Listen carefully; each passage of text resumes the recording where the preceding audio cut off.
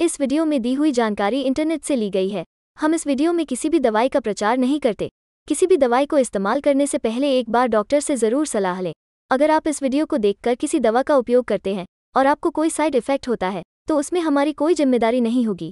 फोसिटिव चार जी इंजेक्शन, यानी कि पॉजिटिव फोर जी इंजेक्शन, एक एंटीबायोटिक दवा है जिसका उपयोग आपके शरीर में जीवाणु संक्रमण के इलाज के लिए किया जाता है। यह मूत्रपथ फेफड़े, यानी कि जैसे निमोनिया, हड्डियों, मस्तिष्क, यानी कि जैसे मैनेंजाइटिस और रक्त के कुछ संक्रमणों में प्रभावी है।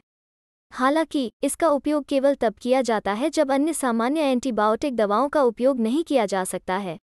फोसिटिव चार जी इंजेक्शन बैक्टीरिया को मारता है, जो आपके लक्षणों को सुधारने और संक्रमण को ठीक करने में मदद करता है।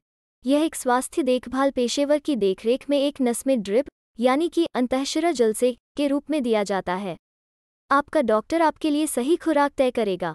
आपको अपने चिकित्सक द्वारा निर्धारित कार्यक्रम के अनुसार नियमित रूप से समान अंतराल पर इस दवा का उपयोग करना चाहिए।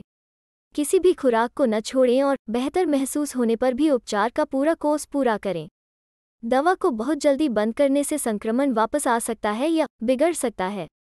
इस दवा के सबसे आम साइड इफ़ेक्ट्स में इंजेक्शन साइट की प्रतिक्रियाएँ, यानी कि दर्द सूजन या लालिमा योनि में सूजन और पेट दर्द शामिल हैं।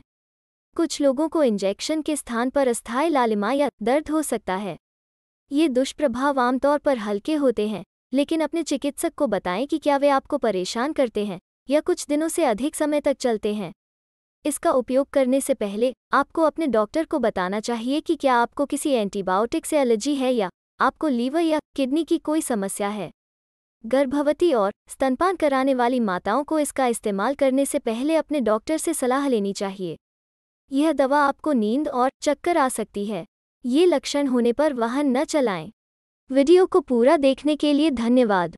अगर आपको वीडियो अच्छी लगी हो तो वीडियो को लाइक करें और साथ ही हमारे चैनल को सब्सक्राइब करके नोटिफिकेशन बेल आइकॉन पर क्लिक करें और ऑल नोटिफिकेशन को क्लिक करें। धन्यवाद।